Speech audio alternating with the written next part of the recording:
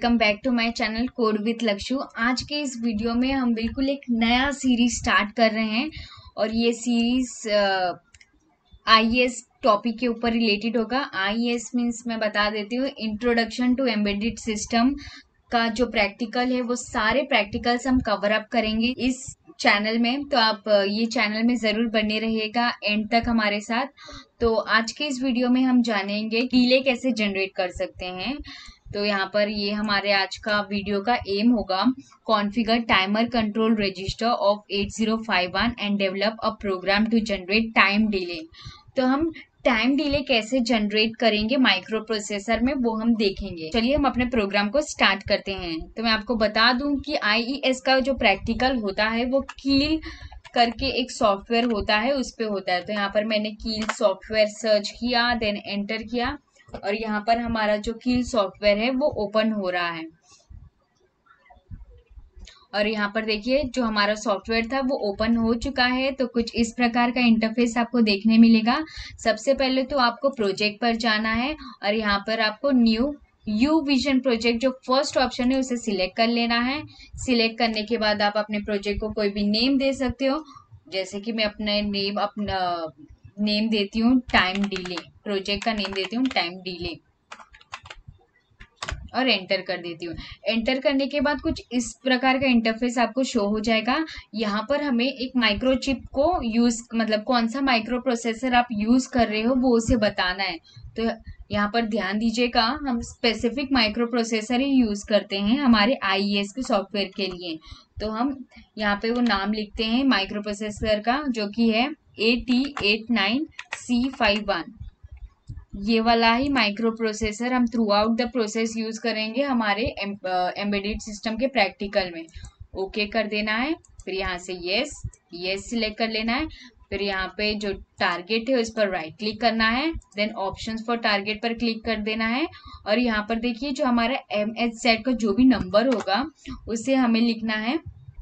यहाँ पर चेंज कर देना है और लिखना है level point zero five nine two और यहाँ पर आउटपुट पर जाने के बाद हेक्स फ़ाइल को एनेबल कर देना है। हेक्स फ़ाइल को एनेबल करने के बाद यहाँ पे प्लस पर क्लिक करना होगा देन यहाँ पे सोर्स ग्रुप का एक फोल्डर मिल जाएगा, उस पर राइट क्लिक करना होगा देन यहाँ पे add new item to group source group one पर क्लिक करना होगा। फिर कुछ ऐसा इंटरफेस ओपन हो जाएगा। यहाँ पर हमें सी फ़ाइल को सिलेक्ट करना है और यहाँ पे उसका कोई नेम दे देना है। जैसे कि मैं इसका नाम दे देती हूँ टाइम डिले जो कि मैंने पहले भी दिया था हमारे प्रोजेक्ट को। और यहाँ पे यहाँ पर अभी अपने फ़ाइल सी फ़ाइल में दे रहे हैं और इसे ऐड कर देना है। ऐड करने के बाद आप देख सकते हो कि मेरा जो सी फ़ाइल है वो क्रिएट हो चुका है। मैं आपको एक और चीज़ बता देती हूँ, जितने भी हम आईईएस में प्रैक्टिकल परफॉर्म करेंगे, उसमें हम सी प्रोग्रामिंग का ही यूज़ करेंगे। तो इसीलिए हर बार आप ध्यान दीजिएगा कि आप जब भी फ़ाइल सिलेक्ट कर रहे हो तो सी फ़ाइल ही सिलेक्ट कर रहे हो। तो चलिए हम अपना प्रोग्राम स्टार्ट करते हैं। सबसे पहले हमें पैकेज इंपोर्ट करना होगा तो पैकेज इंपोर्ट करने के लिए सी में हमें क्या लिखना होता है? इंक्लूड और यहाँ पे कौन सा हम रजिस्टर का एक जो सारे रजिस्टर जिसमें होते हैं वो पैकेज को इंपोर्ट करें। उसका नाम है R E G five one dot H इसे इंक्लूड कर लिए हैं।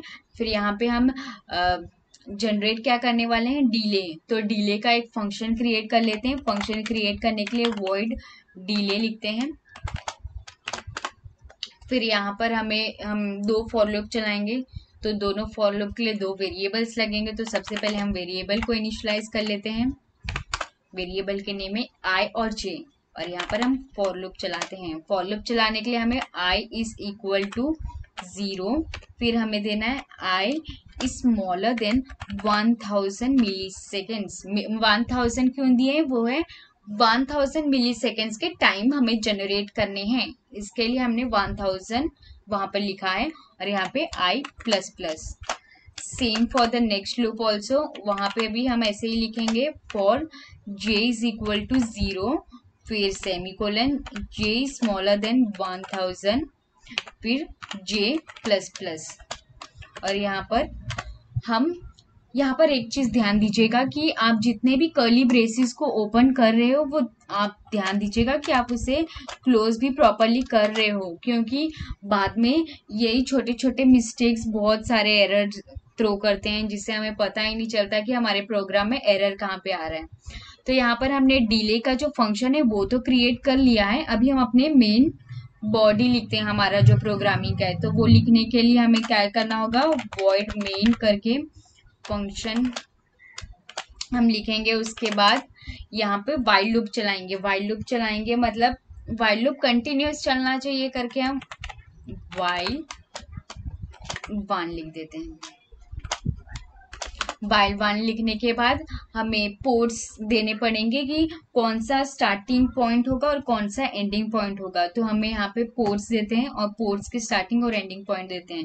तो यहाँ पर मैं यूज़ करूँगी पी वन पोर्ट और इसका स्टार्टिंग रख दूँगी ज़ीरो इंटू एफ़ एफ़ और इसके बीच में डीले जनरेट करने के लिए डीले फ़ंक्शन को कॉल कर देना है और इसे क्लोज कौन से वाले ये में करेंगे। नंबर में ज़ीरो इंटू ज़ीरो ज़ीरो और यहाँ पे भी डीले के फ़ंक्शन को कॉल कर देंगे और यहाँ पर अपने सभी देखेंगे कर्ली ब्रेस प्रॉपरली क्लोज है कि नहीं।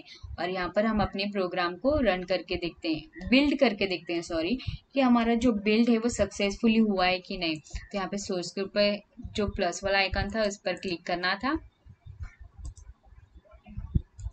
उसके बाद टाइम डिले जो हमारा सी फ़ाइल है, उस पर राइट क्लिक करना है देन बिल्ड टारगेट कर देना है। बिल टारगेट करने के बाद यहाँ पर देखिए zero errors and zero warnings दे रहे हैं।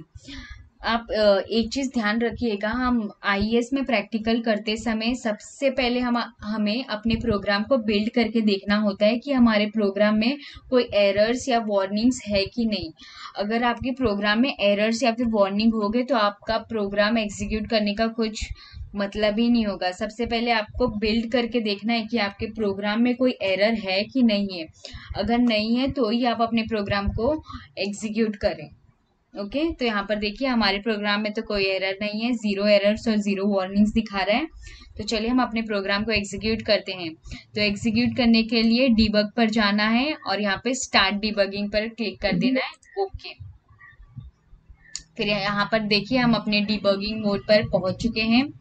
पहुँचने के बाद हमें सिंपली इसके पोर्ट सिलेक्ट करने होंगे। पोर्ट सिलेक्ट करने के लिए हमें पेरीफेरल्स पर क्लिक करना है then IO ports then port one और फिर कुछ ऐसा इंटरफेस आ जाएगा। फिर हमें जाना है डीबग पर और यहाँ से हमें अपने प्रोग्राम को रन कर देना है। तो यहाँ पर देखिए, हमारा जो प्रोग्राम था वो सक्सेसफुली रन हो चुका है। यहाँ पर हमारा टाइम डिले जनरेट हो चुका है वन थाउज़ेंड मिली सेकेंड का। और जो ये हमने नंबर्स दिए थे पोर्ट वन के लिए ज़ीरो इंटू एफ़ एफ़ वो थे हमारे स्टार्टिंग पॉइंट जो स्टार्ट हो ज़ीरो इंटू एफ़ एफ़ और डी एंड हो ज़ीरो इंटू ज़ीरो ज़ीरो तो देखिए पोर्ट्स के नंबर जो है वो शफल हो रहे हैं, वो भी वन थाउज़ेंड मिली सेकेंड में। तो आज के इस वीडियो में हमने जाना कि हम कैसे टाइम डिले जनरेट कर सकते हैं। तो अगर आपको इस वीडियो के रिलेटेड कोई भी इशू या डाउट होगी तो फील फ्री टू कमेंट में in the comment section thank you for watching this video